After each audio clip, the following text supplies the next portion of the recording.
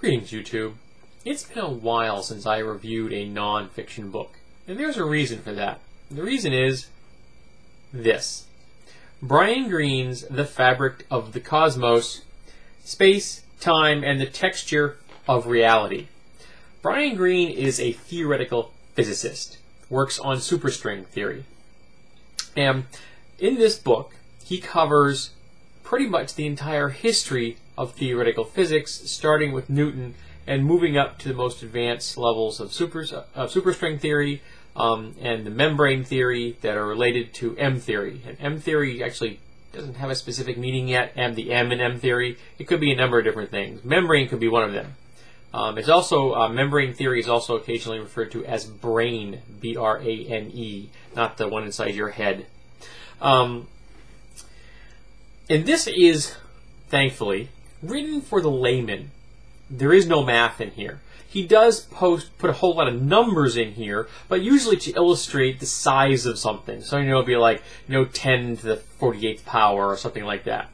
Um, and he actually, uh, I think at one point he actually puts the number of zeros to show you how many zeros is it in this number, how big it is, or how small it is.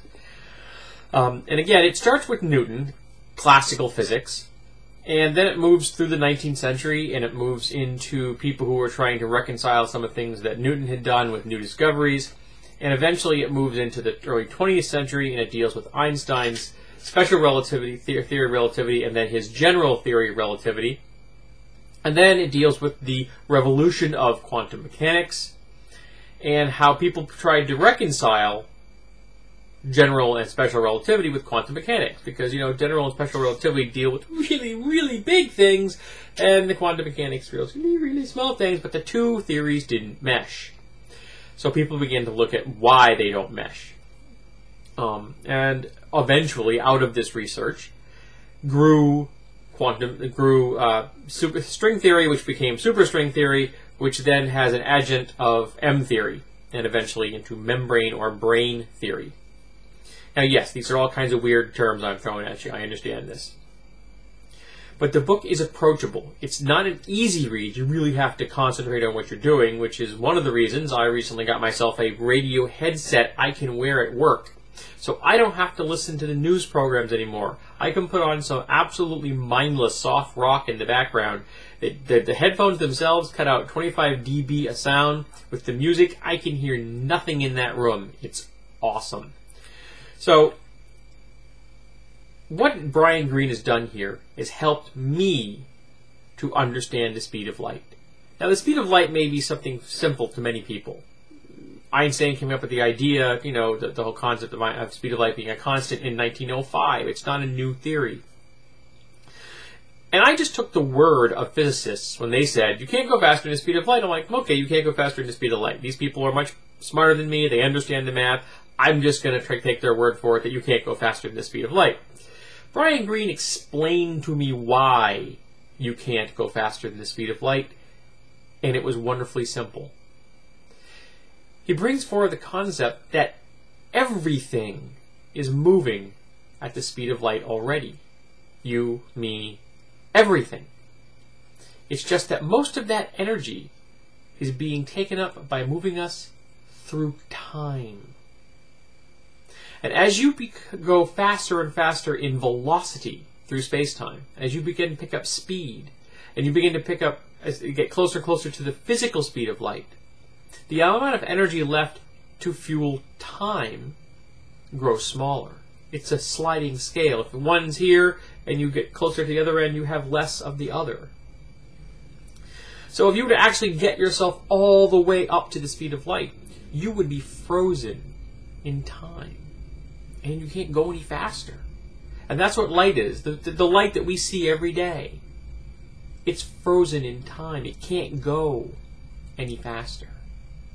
And that's why if you are on a vehicle, a ship moving close to the speed of light, for you, time is moving at a relative at normal speed. It seems completely and totally normal. But to the people outside your vessel who are watching you, you seem to be slowing down. Which is why if you were to get near the speed of light and make a circuit around the, the sun and come back again, huge amounts of time would have passed. It's time travel, folks, for real. And it would work. And they've tested this, that the faster you go, the less you energy you have for time, with incredibly accurate watches and clocks, with orbital um, tests and things like that. I think they even tested it on a plane once. Incredibly state, uh, accurate timepieces that let them tell the difference between a timepiece on the ground and one on a plane moving very, very fast. And for that alone, for the fact that Brian Greene explained to me how the speed of light functions, why you can't go faster than it, this book is worth the read.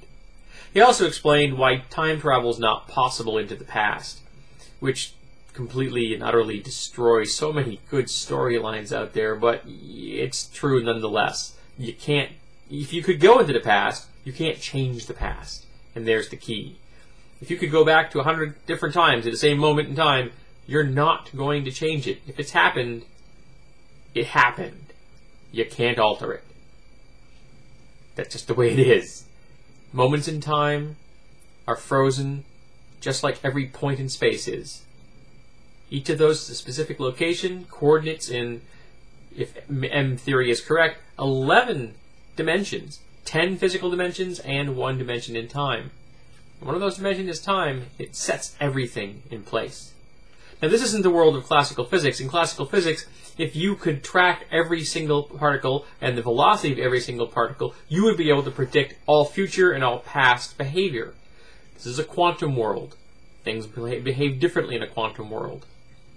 And this book gets into that. It deals with it on every conceivable level that you can think of. He knows how far to go in, and he knows when to say, you know, this part here is too complex to, to discuss it because there are things that are too hard to discuss in a book like this aimed at lay people. If you want to get into this on the level that you would need to grasp all of it, you're going to have to take a whole lot of science and math courses, which I'm not going to. But if you like physics, if you want to understand reality, the texture, the fabric of our universe, this book is really cool.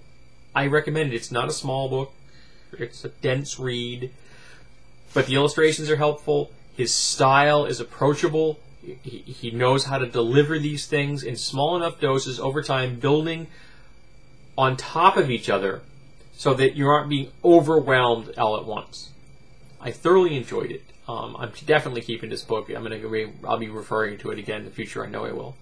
Um, but again, if you like physics, you like science, trying to understand reality, this is a book that you just cannot miss.